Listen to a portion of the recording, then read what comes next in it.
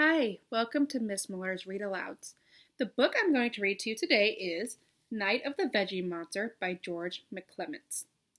This story is all about a little boy who faces his worst fear ever vegetables. He turns into a monster every time he tries to eat vegetables. So, what is he going to do? What's the solution to his problem? Read with me to find out. Something terrible happens every Tuesday night. It's not the pork chops or the mashed potatoes. It all starts when I'm forced to eat peas! A whole three tonight.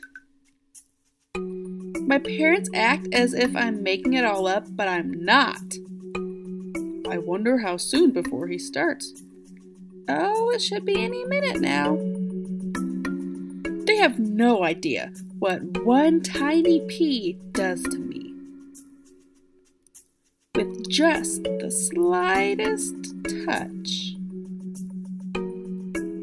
it begins. And we're off. My fingers become all wiggly. Ah, I knew he would start with the fingers.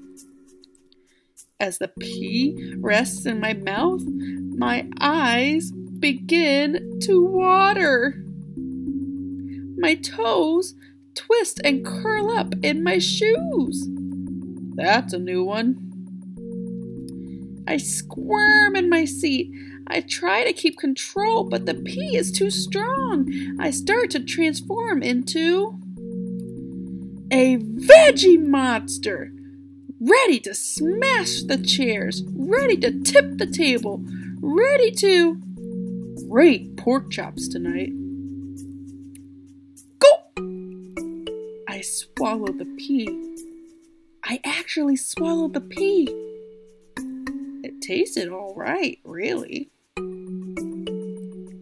Quite a performance this evening. I particularly enjoyed the toe curling. Well, I guess peas are okay, but they're still a danger. Because tomorrow is Wednesday, and on Wednesday we have broccoli. Oh, here we go again. This story was all about one small moment in this boy's life when he was afraid to eat vegetables.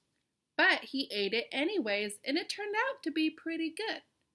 What was a small moment in your life when you were afraid to do something? And how did it turn out for you? Did it turn out good, or did it turn out differently than what you had expected? Thank you for listening to me read this story. I hope you enjoyed listening to it. I enjoyed reading it to you. Thank you for watching.